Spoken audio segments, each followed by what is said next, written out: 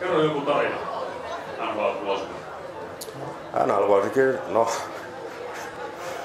Venäjän vuosilta oli vähän enemmän tarinaa, mutta tota, NHL,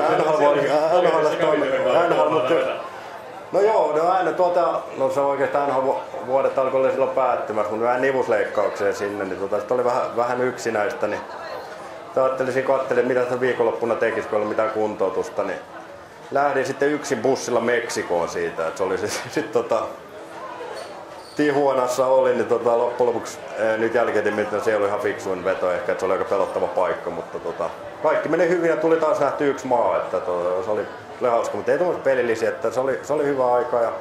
meillä oli huippuvalmentajat sen Cincinnati, se oli niinku, antoi mun uralle paljon, tämä Mike Babcock, joka on nykyään Detroitissa tällä hetkellä. Yksi NHL kuumimpia valmentaja, kun nyt Toronto on menossa sitten jollain hirveällä tilillä, mutta ihan loistava valmentaja, että kyllä niinku,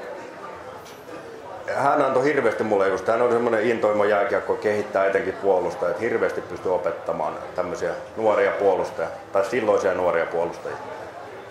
Tuossa sanoit jo, että Venäjältä olisi tarinoita, niin 2008-2009 taisi olla kohdalla historian ensimmäinen kausi, kun olit Venäjällä Lada Toljatissa. Niin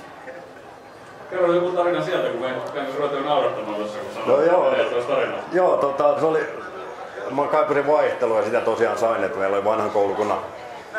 venäläisvalmentaja, silloin harjoiteltiin paljon ja sitten oli vielä vanhan koulukunnan lääkäri ja se otti mut jollain tavalla koekaniniksi siellä, että aina tuli, että you are very old man, että try this ja try that ja tota, mä lähdin sillä mentaliteetillä kaikki koneeseen, mitä annetaan. Se oli, se oli, se oli mielenkiintoista, mutta tota, ne jos nyt ihan tarinoita, niin ihan tuolta sitten off-ice-toimintaa, niin ei siellä kaupungissa kukaan puhunut englantia, se oli ihan hämmästyttävää, kaikki ruokalistat venäjäksi ja se oli semmoista, se oli tosiaan vaihtelua, niin menin sitten parturiin ja oli neljä kategoriaa saa valita, oliko aloittelija, harjoittelija ja joku pro ja ammattilainen. Mä ajattelin, hemmetti täällä pärjätä olla harjoittelijalla ja sitten se rupesi tuot sivusta ottaa koneella, niin yhtäkkiä kone tökkäsi korvas hirveä vekki siinä. En saanut edes alennusta.